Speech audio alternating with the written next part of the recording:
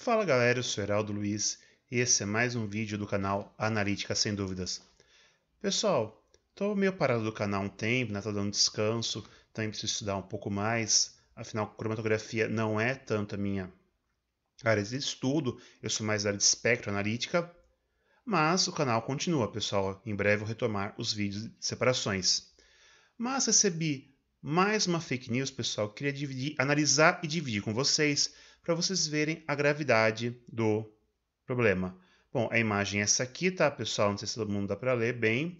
Conselho dos hospitais de isolamento para fazer em casa.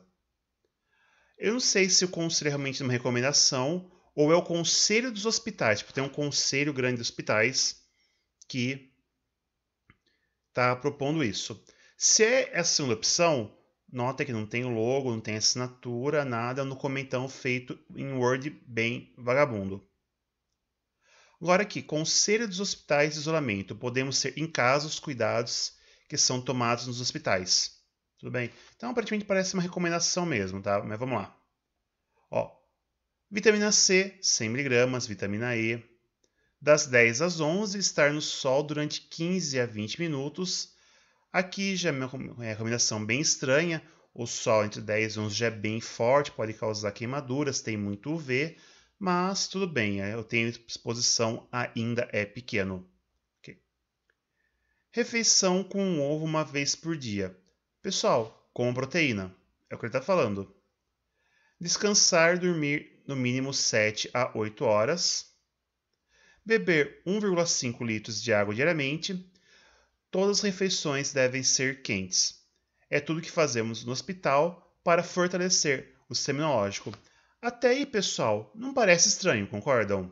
Bem, e na verdade, pessoal, vai muito no consenso. Normalmente, quando a pessoa está gripada, a primeira coisa que a pessoa faz, né? Ou a mãe, vó, quem está cuidando, já faz aquela canja, aquela, aquele chá bem quente. Isso ajuda, né? Ajuda a hidratar, ajuda a fortalecer, ajuda a nutrir o corpo, tem proteína, carboidrato, tudo, para o corpo ter força, ter nutrientes para combater doenças virais em geral. Tudo bem, pessoal? Então, você começa a ler aí, tudo bem, parece bacana, né? Tem sentido, vitamina E, vitamina C fortalecem o sistema imunológico também, tá? Até aí, tudo bem, parece uma notícia boa. Mas vamos continuar. Observe que o pH do coronavírus varia entre 5,5 a 8,5. Aí começam os problemas, pessoal.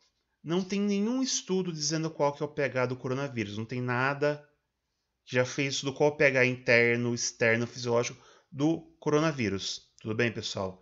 Já começa aí. Então, observe que o pH. Da onde? Não tem, pessoal aí já começa o problema. Se até aqui tinha coerência nessa parte de cima aqui, esse comecinho, que novamente é o que a gente costuma fazer quando tem doenças virais, descansar, nutrir o corpo, hidratar para o sistema imunológico agir, aqui já começa o problema. Ele já tirou aqui uma informação da bunda, não tem outra forma de falar, pessoal. Esse observe que, observe, não tem nada de observado.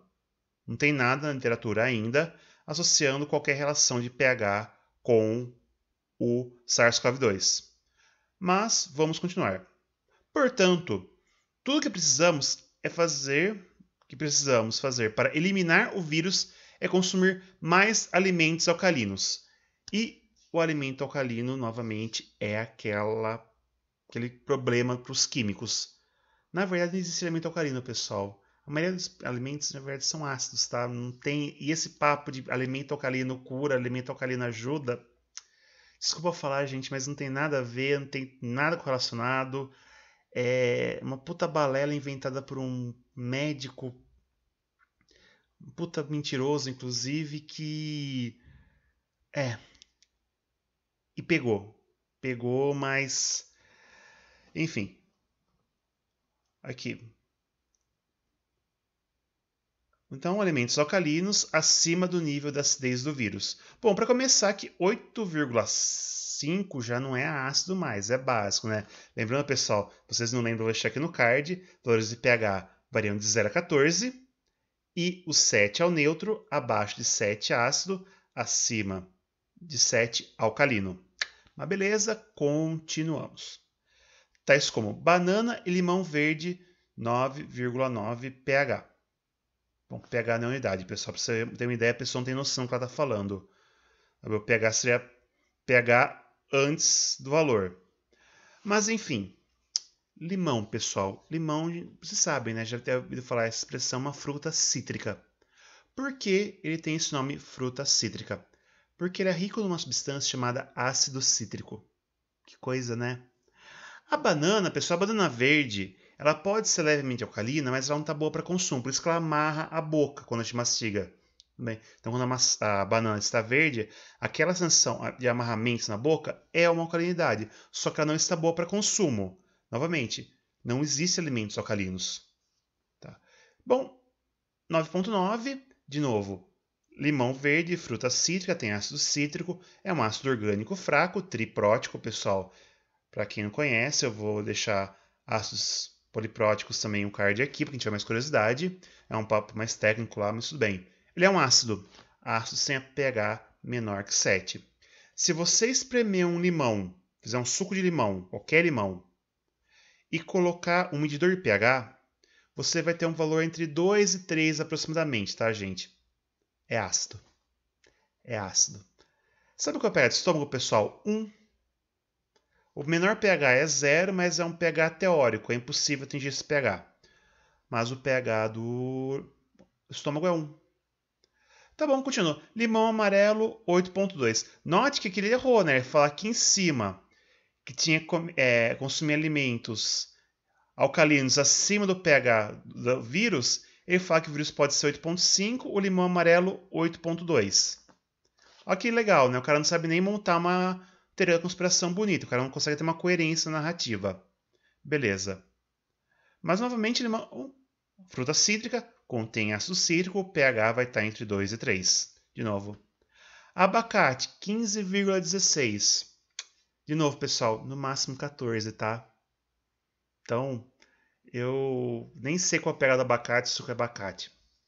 Beleza. Alho, 13,2. Acho que dificilmente a área vai ter 13.2 pH, mas tudo bem, né? É... Vou, eu sou ignorante mesmo, mas eu duvido, como, novamente, a maioria dos alimentos são ácidos, pessoal. Eu acho que o alimento mais alcalino que a gente consome é a clara de ovo e o pH é um pouquinho, é 8.1 no máximo, tá? Mas é o top. Manga, 8.7, de novo, pessoal, manga, você sente a acidez da manga. Ela, é, ela não é tão ácida quanto o limão, mas você percebe, ela tem acidez. Tangerina, 8,5. Tangerina também. Fruta cítrica, contém ácido cítrico. O pH de suco de tangerina vai ser muito próximo ao pH do limão. Vai estar tá variando entre 2 e 4 aproximadamente, de novo. Tá? Então, né? abacaxi 17 12.7. Até li errado, pessoal. Estou dislexo com essa notícia. É, pessoal, abacaxi também é ácido pra caramba, né, pessoal? Você sente queimar a língua. Deve ser umas frutas que têm mais ácido cítrico entre todas as frutas cítricas. É.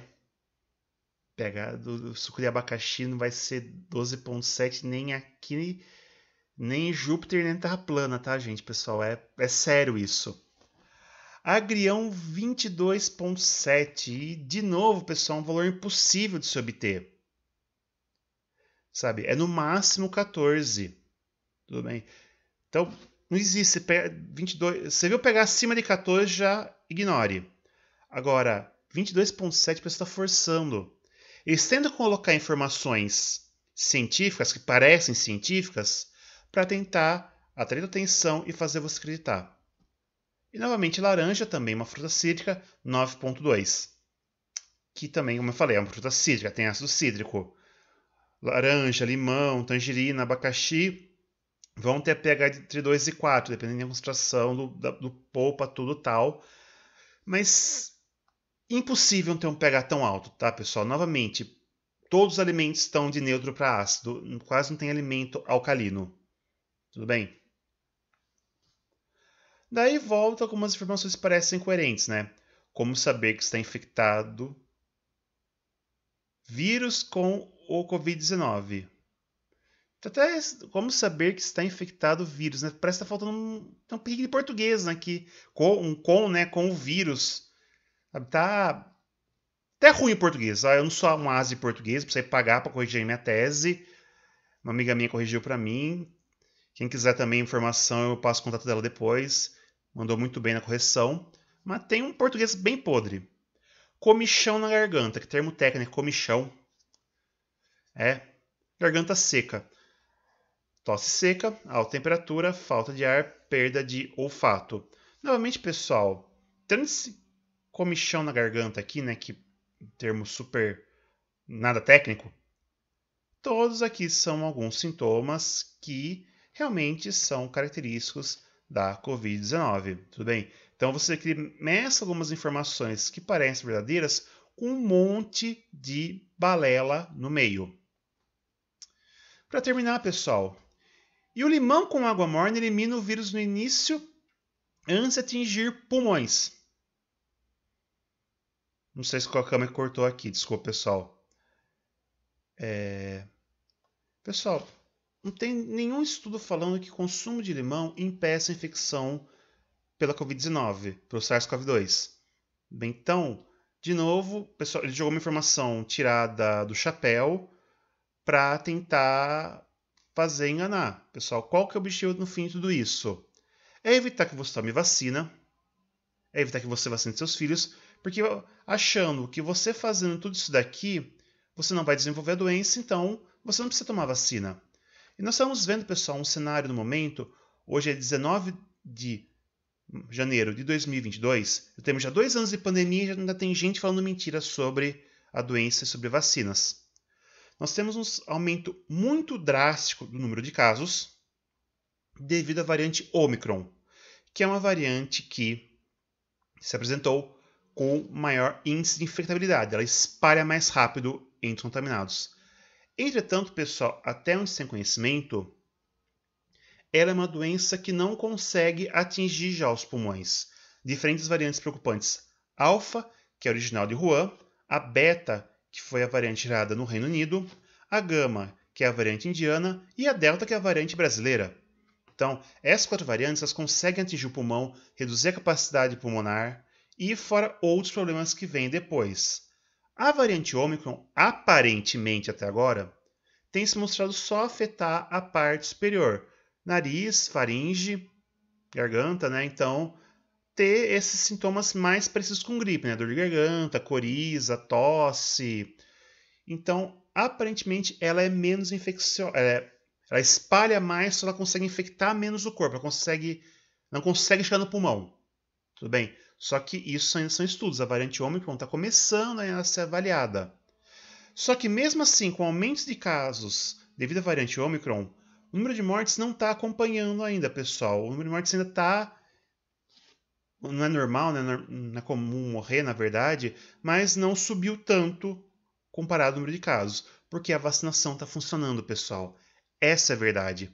E tudo isso daqui, na verdade, é para tentar enganar você para você não tomar a primeira ou segunda dose ou a dose reforço e para você não vacinar os seus filhos, que é super importante. Ah, falam que criança não desenvolve Covid grave? Tem criança que morreu de Covid, sim.